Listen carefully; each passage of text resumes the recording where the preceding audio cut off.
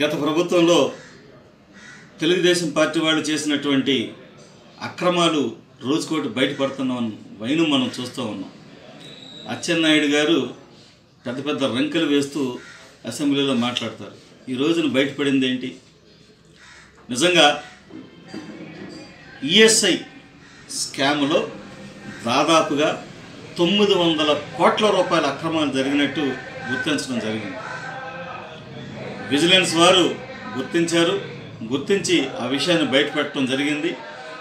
తన మనుషులకి ఈ మందులు సప్లై చేయడానికి ఆర్డర్ ఇవ్వాలని చెప్పేసి అచ్చెన్నాయుడు గారు స్వయంగా ఆయన లెటర్ ఇష్యూ చేయటం జరిగింది.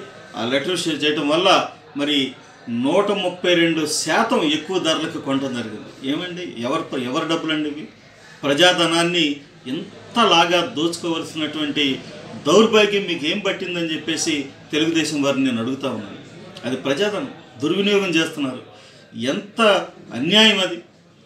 ఒక మందు కొనడానికి నూట ముప్పై రెండు శాతం ఎక్కువ రేట్ ఇచ్చి కొనాల్సినటువంటి అవసరం ప్రభుత్వానికి ఏర్పడి ఎందుకు కలిగించారని చెప్పేసి నేను మిమ్మల్ని సూటిగా ప్రశ్నిస్తా ఉన్నాను దీనికి ఏ రకంగా అయితే రాజధానిలో భూదందాలో ఏ రకంగా అయితే ఇన్వెస్టిగేషన్ జరిగిందో సిట్టు అలాగే దీని మీద కూడా సమగ్రమైనటువంటి విచారణ జరిపించి మరి దోషుల్ని నిజమైనటువంటి దోషుల్ని శిక్షించాలని చెప్పేసి నేను మనవి చేస్తా ఉన్నా.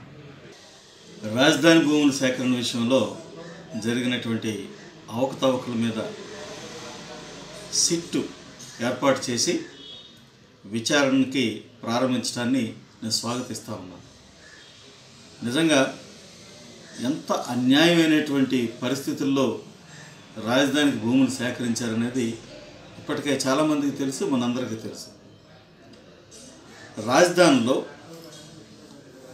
అక్కడ రాజధాని పెడతామని చెప్పేసి కొంతమంది వ్యక్తులకి అది లీకులు ఇచ్చి వారి ద్వారా వేల వేల ఎకరాల భూములు కొనుగోలు చేసి ఆ భూముల్ని వారు ప్రభుత్వానికి ఇవ్వటం లేదా వారి దగ్గర పెట్టుకుని బయట పెట్టుకుని రియల్ ఎస్టేట్ కోవటం కోసం వాడుకోవటం జరిగింది.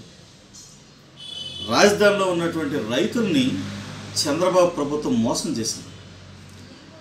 తెలుగుదేశం పార్టీ మోసం చేసింది. వారికి చెప్పకుండా వారికి తెలియకుండా రాజధాని ఇక్కడికి వస్తుందని వారికి ఏమాత్రం హింట్ లేనప్పుడు అక్కడ భూములు కొన్నారు. భూములను కొనటమే కాకుండా దాన్ని ప్రభుత్వానికి ఇవ్వటం జరిగింది.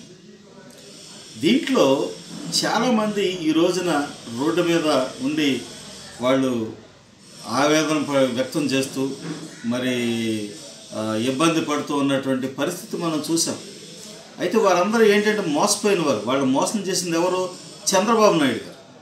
ఎందుకనంటే వారి దగ్గర మధ్యలో ఉన్నటువంటి కొంతమంది దళారులు లేదా మరి కొంతమంది వేరే వ్యక్తులు కొని దాన్ని ప్రభుత్వానికి ఇచ్చి లాభాపేక్షతోటి అంటే పది లక్షల రూపాయలు పెట్టి ఎకరం కొని కోట్ల రూపాయలు అంటే సుమారుగా పది కోట్ల రూపాయలు ఆదాయం వస్తుందనే ఒక ఉద్దేశంతో ప్రభుత్వానికి వారు భూమిని ఇచ్చారు తప్ప మరి ఇంకేది కాదని చెప్పేసి ప్రజలందరూ అర్థం చేసుకోవాలి.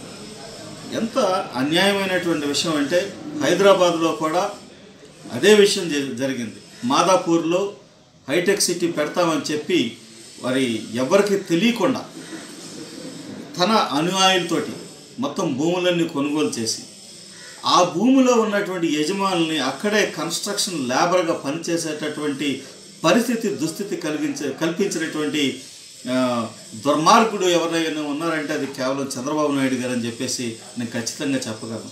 ఆ పని చేసినందువల్లే ఈ రోజున ఆంధ్ర తెలంగాణ మధ్య విభేదాలు ఏర్పడి మరి ఆంధ్ర తెలంగాణగా విడిపోవటం జరిగింది.